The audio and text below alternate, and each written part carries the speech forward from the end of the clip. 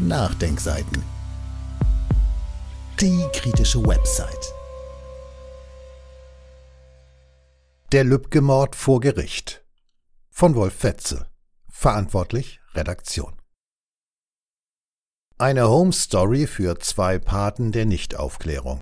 Am 16. Juni 2020 beginnt der Prozess in Frankfurt gegen zwei Neonazis, die den Mord an dem hessischen Regierungspräsidenten Walter Lübcke 2019 begangen haben sollen. Denkseiten haben dazu folgende verlinkten Beiträge publiziert. Mordfall Lübcke. Von Dönermorden bis zur Kirmesspur. Mordfall Lübcke. NSU 2.0. Mordfall Lübcke. Einzeltäter gesucht und gefunden. Teil 3 NDS vom 28. Juli 2019 und am Ende der NSU-Trio-Version NDS vom 8. März 2020. Mit Sinn für gutes Timing und perfektes Produktplacement strahlte die öffentlich-rechtliche Fernsehanstalt ARD eine Woche vor Prozessbeginn eine Dokumentation aus, die den Mord an dem Kasseler Regierungspräsidenten Walter Lübcke zum Thema macht. Tödlicher Hass. Der Mordfall Walter Lübcke. Ein Film von Ulrike Bremer, Adrian Oeser und Martin Steinhagen 2020. Verlinkt innerhalb des Artikels. Die Recherche soll Informationen über die Hintergründe des Prozesses liefern, der am 16. Juni 2020 vor dem Oberlandesgericht in Frankfurt stattfinden wird. Ein Lehr Lehrstück an Gefälligkeitsjournalismus. Die Dokumentation ist 45 Minuten lang und ist aus vier Gründen ein Meisterstück an Journalismus, der sich selbst gerne als Qualitätsjournalismus ausgibt. Die Dokumentation zeigt über 45 Minuten, wie öffentlich-rechtliche Medien genau das fortführen, was man als Hofberichterstattung bezeichnen kann. Man kolportiert die offizielle Version, in diesem Fall die Version von Geheimdienst, Polizei und Innenministerium. Eine Home Story für bereits Gesagtes und Verlautbartes. Das Gegenteil einer kritischen Berichterstattung, die die Verantwortlichen mit den Widersprüchen konfrontiert, die also auch die Gegenstimmen angemessen zu Wort kommen lässt. Im Mordfall Lübcke hat dies eine besonders bittere Note als 2011, 12 nicht mehr zu verheimlichen war, dass die Morde an Menschen, die nicht deutsch genug waren, keine Dönermorde, also Mordtaten im Ausländermilieu waren, sondern rassistische Morde, gab es für einen kurzen Wimpernschlag ein paar selbstkritische Worte. Denn in all den elf zurückliegenden Jahren machten die allermeisten Medien nichts anderes, als die Polizei- und Staatsanwaltschaftsversion zu übernehmen. Obwohl es an fast jedem Tatort auch Hinweise und Zeugen und Zeuginnen gab, die der offiziellen Version widersprachen, wurde ihnen nicht nachgegangen. Man schenkte ihnen kein Gehör, in aller Regel unterschlug man auch diesen Widerspruch. Nach dem Komplettversagen der vierten Gewalt versprach man, in Zukunft kritischer zu sein, eigene Recherchen anzustellen und auch jenen Stimmen nachzugehen, die von der offiziellen Version abweichen. Dieses ganz kurze Innehalten wich ganz schnell dem weiter so. Dazu gehört auch diese ARD-Produktion, die gut platziert vor dem anstehenden Prozess in Frankfurt am 16. Juni 2020 ausgestrahlt wurde. Mehr noch, diese Dokumentation setzt ungebrochen und ungebremst dort an, wo man mit der Dönermordberichterstattung aufgehört hat. Was sich wie eine Doku ausgibt, ist in Wirklichkeit eine Werbesendung für zwei hessische Innenminister, die für das verantwortlich sind, was in Sachen Aufklärung in Kassel 2006 und im Fall Lübcke 2019 passiert ist bzw. unterlassen wurde. Wer ganz ins Feingewebe dieser Produktion eintaucht, findet gar das versteckte Eingeständnis, dass der Mord in Kassel 2006 und der Mord an Walter Lübcke 2019 irgendwie zusammenhängen, insbesondere die hohe Intensität der Be- und Verhinderung der Aufklärung. Was da jeweils unternommen bzw. unterlassen wurde, bleibt in der Doku eine äußerst flüchtige Andeutung. Nach dem Mord an dem Internetcafé-Besitzer Halid Yozgat 2016 in Kassel stießen die polizeilichen Ermittler auf einen Geheimdienstmann, der sich unter falschem Namen und zur Tatzeit in jenem Internetcafé aufgehalten hatte, in dem der Mord verübt wurde. Schnell bekamen sie heraus, dass der Verfassungsschützer einen Neonazi als V-Mann führte und mit diesem am Tattag zweimal telefonierte. Die Ermittler wollten diesen V-Mann befragen und stießen auf eine hochkarätige Mauer des Schweigens. Ganz oben auf der Mauer ließ der damalige Innenminister Volker Bouffier wissen, dass der V-Mann zum Wohl des Staates nicht vernommen werden dürfe. Parallel dazu verschwand die Akte des V-Mannes mit dem Decknamen Gemüse. Der V-Mann-Führer log, wo es nur ging, immer unterstützt von seinen Vorgesetzten, die ihn berieten, coachten und deckten. Ganz tropfenweise kommt an die Öffentlichkeit, dass besagter Geheimdienstmann auch mit Stefan Ernst befasst war, dass es eine dicke Akte über ihn gibt und dass bis heute niemand weiß, ob die Ermittlungen damals auch Stefan Ernst einbezogen hatten und warum seine Akte geheim bleibt bis heute. 2. Dieser ARD-Doku gelingt es meisterhaft, gewollt und gekonnt Fakten und Erkenntnisse auszublenden, die der offiziellen Version deutlich und massiv widersprechen. Ganz lang, bis in die Kindheit zurück, recherchiert man den Lebenslauf von Stefan Ernst und Markus Hartmann. Und genauso lang führt man aus, dass nach über zehn Jahren aktiver Neonazi-Zeit ganz plötzlich der Faden abreißt. Beide verschwinden plötzlich, also nicht wirklich, aber angeblich vom Schirm des Geheimdienstes, der den beiden bis 2009 auf den Fersen ist. Dabei belässt es das Filmteam. Gründe, Hinweise oder gar Belege dafür, dass sich die beiden Neonazis abgekühlt hätten, gibt es nicht. Sie verschwinden einfach mir nichts, dir nichts, und die Macher zweifeln nicht an dieser Version bzw. konfrontieren den Geheimdienst nicht mit diesem Blackout. Hinzu kommt, dass es gar keine eigenen Recherchen bedurft hätte, um Widersprüche aufzuzeigen, um ihnen nachzugehen. Man hätte im Rahmen der Ausgewogenheit zumindest die Recherchen der antifaschistischen Plattform Exif erwähnen können, die zu einem ganz anderen Schluss kommen. Im Juni 2019 kratzten Bilder von einem konspirativen Treffen im sächsischen Mücker gewaltig am VS getunten Bild vom Familienvater Stefan Ernst. Im März 2019 trafen sich in Mücker Neonazis, die mit dem Rassenkrieg und dem führerlosen Widerstand sehr viel anfangen können. Mitglieder von Combat 18 und Blood and Honor, Brigade 8 bis Euxodie waren dort anwesend. Ein sehr lukrativer Kreis, dem nur angehört, wer sich als Kamerad so richtig verdient gemacht hat. Auf einem Foto ist Stefan Ernst zu erkennen. Das bestätigte auch ein zu Rate gezogener Gutachter gegenüber dem Politmagazin Monitor. Das löste eine ungewöhnliche Reaktion aus. Neonazis, die ebenfalls auf diesem konspirativen Treffen gewesen sein wollen, bestreiten, dass auf dem Bild Stefan Ernst zu sehen ist und bieten einen anderen Namen an. Und was sagt der Verfassungsschutz dazu? Nichts. Dafür darf das Magazin Der Spiegel ran und raunt völlig belanglos etwas von Sicherheitskreisen. Zitat aus sächsischen Sicherheitskreisen heißt es, der Staatsschutz und der Verfassungsschutz gingen davon aus, dass das Foto Carsten H. zeige, nicht Stefan E. Offiziell wollte sich von den Ermittlern niemand äußern. Zitat Ende. Spiegel.de vom 24.06.2019. All das ist den Filmemachern bekannt. Man geht nicht dieser ominösen Quelle aus Sicherheitskreisen nach, stellt nicht einmal die Frage, was ist das für ein Alibi von zwei anderen Neonazis, das man gar nicht überprüfen kann? Alles kein Grund für die Filmemacher, auch nur einen Schritt raus aus dieser Home Story für Minister zu machen, die selbstverständlich die Sicherheitsbehörden anweisen könnten, sich klar und eindeutig zu positionieren. Dieses Vorgehen ist mehr als kostenlose Werbezeit für in Bedrängnis geratene Innenminister. Es handelt sich hier um einen manipulativen Umgang mit allen zugänglichen Fakten. 3. Im Zentrum dieser Dokumentation stehen die beiden hessischen Innenminister. Volker Bouffier war Innenminister, als der Mord an dem Internetcafé-Besitzer Halit Joska 2006 in Kassel verübt wurde. 2019, als Walter Lübcke erschossen wurde, heißt der amtierende hessische Innenminister Peter Beuth. Brav und gefällig arbeitet die Doku die Minister ab. Zuerst kommt der damalige Innenminister und heutige Ministerpräsident Volker Bouffier zu Wort. Man fragt ihn behutsam, ob er aus heutiger Sicht damals also 2006 alles richtig gemacht habe. Der heutige Ministerpräsident will mit sonorer Stimme selbstverständlich nicht ausschließen, dass man später auch gelegentlich und etwas klüger sein könne, was ganz allgemein stimmen könnte, nur nicht in seinem Fall. Zitat in der damaligen Situation konnte man nur so handeln, und das ist auch hinreichend behandelt worden. Man mag das als unbefriedigend empfinden, aber Spekulationen helfen hier nicht weiter.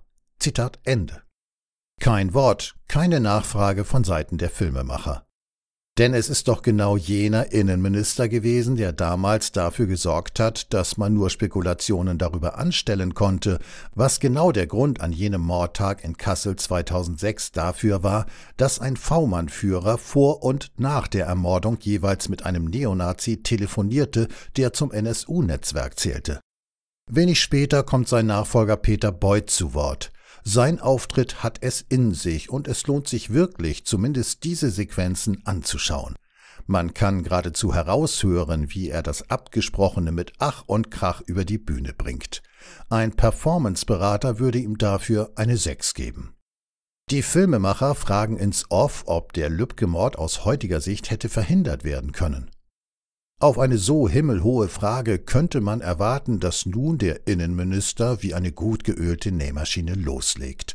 Doch genau das passiert nicht. Er äht und hmmt sich durch die Antwort. Zitat Natürlich fragt man sich, hm, hm, ob man irgendeinen Beitrag noch hätte leisten können, um eine solche Tat zu verhindern. Natürlich sind wir dabei, hm, jetzt genauestens uns zu überlegen, an welchen Stellen müssen wir unsere Nachrichtendienste ein bisschen anders aufstellen, hm, um so etwas zu verhindern. Zitat Ende. Die Filmemacher lassen das Gestotter und die Wortblasen so stehen, als würden sie sich ganz und gar nicht verarscht fühlen. Dann geht Peter Beuth auf die Frage ein, warum Stefan Ernst dem Verfassungsschutz angeblich vom Schirm gerutscht sei. Zitat Stefan E. ist hm, auch als gefährlicher Extremist damals immer betrachtet worden, aber nach 2009 war zumindest dem Verfassungsschutz hm, dann hm, keine hm, Tatsache mehr bekannt geworden, hm, dass sie registriert hätten, die hm, dazu geführt hätte, dass es eine weitere Speicherung hätte erfolgen können. Zitat Ende. Man wird das Gefühl nicht los, dass jemand etwas aufsagt und dabei fast ganz damit beschäftigt ist, den Blödsinn selbst zu glauben. Und noch einmal kommt der Hm-Minister zu Wort. Die Filmemacher führen aus, dass der Verfassungsschutz bereits 1998 versuchte, Markus H. als V-Mann anzuwerben, offenbar erfolglos. Die ministerielle Antwort zeigt wieder große Sprach- und Formulierungsstörungen und dann noch etwas Ungewolltes. Zitat wir müssen natürlich die Fragen der operativen Maßnahmen eines Landesamtes, hm, hm, die müssen wir dort belassen. Hm. Und hm, hm, das ist die eine Sache. Wichtig ist, glaube ich, hm, dass man klipp und klar sagen kann, sie waren nie für den Verfassungsschutz tätig. Zitat Ende. Wenn man weiß, wie ARD-Filmemacher Menschen löchern können, wie zickig sie nachsetzen können, wenn man etwas rauskriegen will, dann weiß man das totale Schweigen zu diesem Ich sag nichts doch aber einzuschätzen. Wenn der Innenminister meint, dass das Wissen des Geheimdienstes via V-Leuten ein operatives Wissen ist, das man dort lassen sollte, also nicht preisgeben will, dann ermöglicht und deckt er die Sabotage der Aufklärung. Wenn das sein Selbstverständnis ist, dann ist seine Klipp- und Klar-Antwort möglicherweise ebenfalls operativen Umständen geschuldet, also Teil des operativen Geschäfts. Interessant an der Antwort ist aber auch, dass er gar nicht auf die Frage geantwortet, ob der eine Neonazi V-Mann war und ist, sondern auch Stefan Ernst in die Frage einbezogen hat. Welche Interne haben ihn da geritten? Das ARD-Team hätte zahlreiche Fragen an die beiden Minister stellen können. Dafür hätten sie sich nicht einmal selbst Fragen ausdenken müssen. Zum Beispiel die Frage, die Janine Wissler, Vorsitzende der Fraktion Die Linke im Hessischen Landtag, bereits vor Monaten in einem Frankfurter Rundschau-Interview gestellt hatte. Zitat Warum hat man Stefan E. nicht mehr auf dem Schirm gehabt? Warum ist die Akte verschwunden? Warum ist die Akte nicht an den Untersuchungsausschuss gegeben worden?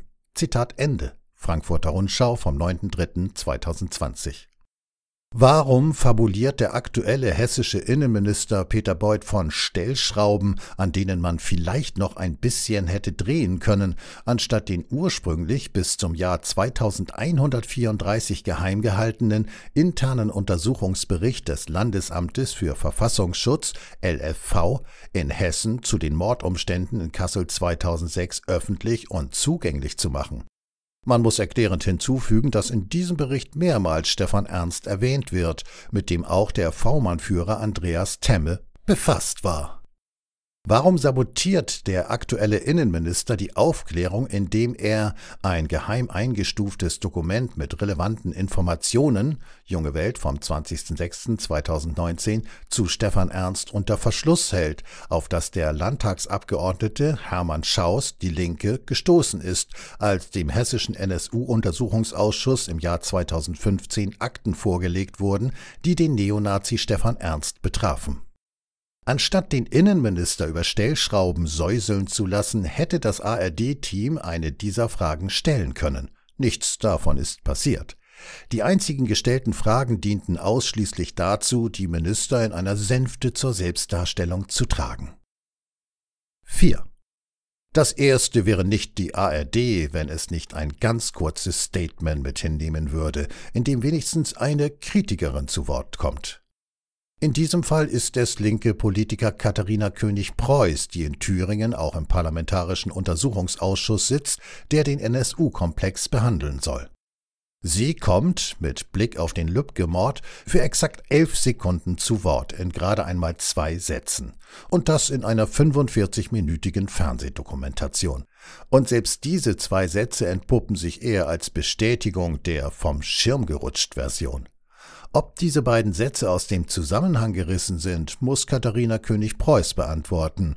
Und ob sie als Kritikerin der offiziellen Version einen Passierschein erteilt hat oder ob das tatsächlich ihr Wissen über Geheimdienste ausmacht, muss sie klären. In der ARD-Dokumentation kommt sie zu Wort, nachdem die Sicherheitsbehörden zitiert werden, die davon ausgegangen sind, dass sich die beiden Neonazis, Stefan Ernst und Markus Hartmann, abgekühlt hätten. Danach kommt Katharina König-Preuß zu Wort. Das ist so im Widerspruch dazu, wie die rechte Szene funktioniert. Das spricht am Ende nur dafür, dass ihnen wer weiß, wie viele Neonazis durch die Finger schon längst gerutscht sind. Minute 29,5 bis Minute 29,16. Im ersten Satz verweist Katharina König-Preuß zu Recht auf die lebensferne Annahme, dass sich die beiden Neonazis abgekühlt hätten, wenn man sie nicht mehr auf Demonstrationen antrifft dass es für eine clandestine Karriere wie bei Combat 18 zum Beispiel von Nutzen ist, nicht auffällig zu werden, sich also von öffentlichen Ereignissen fernzuhalten, muss man dem Verfassungsschutz eigentlich nicht sagen. Oder das wäre schon aus diesem Grund ein Muss, ihn wegen Dämlichkeit abzuschaffen. Wenn also Neonazis mit dieser langen Karriere im wahrsten Sinne des Wortes abtauchen, dann ist damit, weder selbstverständlich noch naheliegend, der Schoß der Familie gemeint. Das weiß selbstverständlich der Verfassungsschutz und genau deshalb ist die mit nichts belegte Behauptung, sie hätten sich abgekühlt, eine substanzlose Aussage. Auch in diesem Punkt macht sich das Filmteam nicht die Mühe nachzufragen. Der zweite Satz in ihrem Statement passt aus diesen Gründen überhaupt nicht als Schlussfolgerung. Wenn, und man kann hoffentlich davon ausgehen, dass Katharina König-Preuß um den Verhaltenskodex von Clandestinen weiß, dann sind dem Verfassungsschutz solche Nazis nicht durch die Finger gerutscht. Denn, und das müsste, sollte Katharina König-Preuß auch wissen, der Verfassungsschutz hat genug Spitzel und nachrichtendienstliche Möglichkeiten, diese konspirativen Zusammenhänge zu infiltrieren. Genau damit wirbt man ja für die Notwendigkeit eines Verfassungsschutzes. Er sei unverzichtbar, weil man nur mit den Mitteln des Geheimdienstes, Anwerben von Spitzeln, Überwachung und Observation, so in Strukturen eindringen könne, die öffentlich nicht zugänglich sind. Diese Einschätzung ist nicht nur bar jeder Vernunft, sie steht auch im krassen Gegensatz zum Handeln des Verfassungsschutzes selbst. Dieser hat 2009 den Neonazi Markus Hartmann versucht, als Spitzel anzuwerben. Das macht der Verfassungsschutz nicht, um Bedeutungsloses von einem Bedeutungslosen abzuschöpfen. Markus Hermann war und ist eine Größe in der Kasseler Neonazi-Szene. Wenn der Verfassungsschutz also genau diesen Neonazi als Spitzel gewinnen will, dann geht es um Informationen, die eben nicht öffentlich zugänglich sind, also zum Beispiel Informationen über Strukturen, die clandestin verdeckt operieren. Wenn es also stimmt, dass die Anwerbung erfolglos verlaufen ist, dann zieht sich der Verfassungsschutz nicht beleidigt zurück, sondern bleibt auf anderen Wegen an ihm dran. Und das erst recht, wenn er plötzlich abtaucht, also in der Öffentlichkeit nicht mehr in Erscheinung tritt. Die angeblich erfolglose Anwerbung spricht also fürs glatte Gegenteil. Markus Hartmann war dem Verfassungsschutz 2009 als Quelle wichtig, also rutscht so jemand auch nicht vom Schirm. Eine geheimdienstlich inszenierte Abkühlung. Dass diese Abkühlung nichts mit dem Leben der beiden Neonazis zu tun hat, also auch nicht mit dem Leben von Markus Hartmann, der wegen psychischer Beihilfe angeklagt ist, sickert nun auch pünktlich vor Prozessbeginn durch. Ganz offensichtlich hält jemand in den Sicherheitsbehörden die Lügen und Unterschlagungen nicht aus. Bereits diese zwei Informationen haben es in sich. Zum einen findet sich in der Akte des Verfassungsschutzes ein Eintrag aus dem Jahr 2011, dass Hartmann einen rechtsextremistischen YouTube-Kanal unterhalten hat. Außerdem lag dem hessischen Inlandsgeheimdienst eine sogenannte Quellenmeldung aus dem Sommer 2010 vor. Ein V-Mann hatte über die Neonazi-Szene in Kassel berichtet und dabei auch erwähnt, dass H. gemeinsam mit anderen Rechtsextremisten aus der Region an einem Neonazi-Aufmarsch teilnehmen wollte. Tagesschau.de vom 11. Juli 2020. Wer leistet also noch psychische Beihilfe, dass Mord und Mordumstände im Fall Walter Lübcke nicht aufgeklärt werden sollen, können? Unterhalb des Artikels erhalten Sie drei Quellen und Hinweise. Dieses Audio konnte nur entstehen, weil zahlreiche Leser und Leserinnen die Nachdenkseiten fördern und durch Spenden unterstützen. Wenn Sie auch etwas tun wollen, klicken Sie einfach den entsprechenden Button auf unserer Website an. Übrigens, Sie können uns auch bei iTunes, SoundCloud und YouTube hören und wenn Sie mögen, gerne unseren Kanal abonnieren und eine positive Bewertung für uns abgeben. Wir freuen uns über Ihre Unterstützung und die Weiterverbreitung unserer Inhalte.